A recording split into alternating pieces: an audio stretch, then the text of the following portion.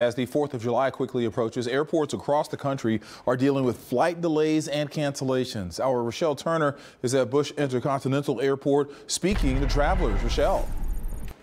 And Keith, it's been really busy here at Bush Intercontinental Airport. We've seen several flight delays and cancellations. We also spoke to some people who they missed their flights because of traffic booked and busy. It's been smooth sailing so far. For some travelers, the luck is on their side this holiday weekend, but for others, it has run out. My flight was canceled and I was supposed to go to Las Vegas and see David Copperfield. Vanessa Ramos and her father's first class United flight was delayed for three hours and then it was canceled. So we're just trying to get a flight into Vegas so we can get to see some shows. As the 4th of July weekend approaches, thousands of flights have already been delayed or canceled due to severe weather and FAA staffing issues.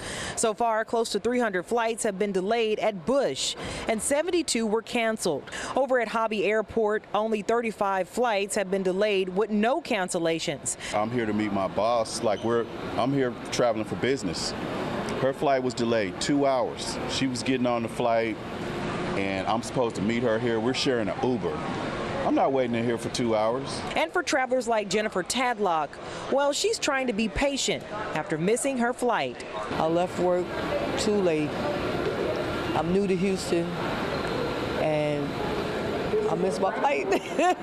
so the traffic light. It was, it was a little hectic. It was, it was a little hectic. I had an Uber.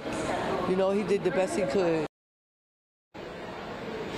Ms. Tatlock probably had the best advice for travelers. Make sure you get to the airport at least two hours early and make sure you're also checking your flights for any updates or disruptions. Reporting live from Bush Airport, I'm Rochelle Turner, KPRC 2 News. Good advice, Rochelle. Thank you.